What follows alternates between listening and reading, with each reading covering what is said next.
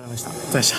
えー、昨日と今日連勝です。はいえー、今の気持ちを一言お願いします。まあこんなにううまくいくとは思わなかったんですけど、まあまあ一一着一着で上がれて本当素直に嬉しいですね。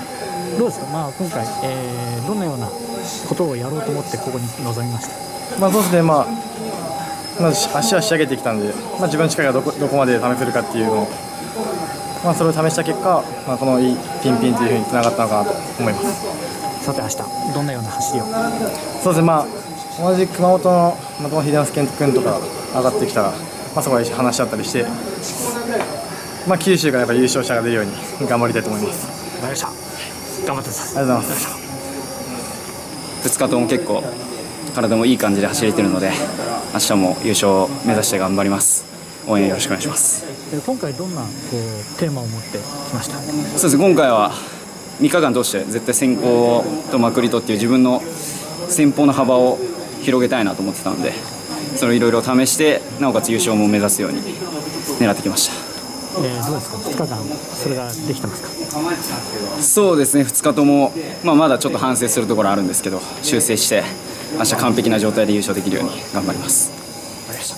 頑張ってください。ありがとうございます昨日は自力を出して勝てなかったので、まあ、今日はしっかり自力を出して、まあ、自分でかければ、まあ、練習してきたことがいけると思って、まあ、自信持って、はい、動きました。えーとまあ、2日間通して、えーまあ、今回、どんなようなことをやりたいと思ってきました？まあ、自分はまくりを中心に今日は練習あこの間では練習してきたので、まあ、しっかりまくりを中心で、はい、やって動けるようにと思いました。はいどうですか、できてますか、2日間。そうですね、まあ、初日は自分のタイミングが合わなくてうまくいかなかったんですけど、まあ、2日目は前々で動いて動く、はい、ううまくいけたと思います。デビューデビューして初勝利嬉しいです。で、えーまあ、今回、はいえー昨日今日と走って、はいえーどんなような感じですか？とまあ昨日が内に詰まって何もできないレースだったので今日もそうならないように一番後ろから一発狙っていきました。えーどうですか？あの、まあ、今回、どんなようなテーマを持ってきました？えっとやっぱり自分の力を出し切れるようなレースを心がけてでそれで決勝に出れればいいなっていう感じで来たんですけど勝ててよかったです。えー、明日、あた多分いけた？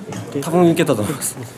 まあ、どういうふうにしましょうか？はもう今日と同じで力を出し切って勝てるように頑張ります。ありがとうございます。えー昨日今日振り返られてどうですか？いや今日の方が足も軽くななったし楽に走れました。まあ一着一着ときまして。そうですねもう完全優勝狙うつもりで全県日から入ってるんで明日は優勝します。えー今回の、ねはいまあ、どんなことをやりたいかっていうのはありました？いやそんなのなかったですけど、まあ、展開見て、まあ、でも仕掛けるところでやっぱ仕掛けないと足でカバーするとか足で強いの走りしたいっていうのがあったんでですね。えー、明日の朝どうしましょう？いや、まあ、明日優勝します。はい。まあ、阿部君が大分の阿部君がついてくれるってことなんで、二人でゴール前、勝負決めれたらいいなと思いますね。はい。頑張ります。頑張ります。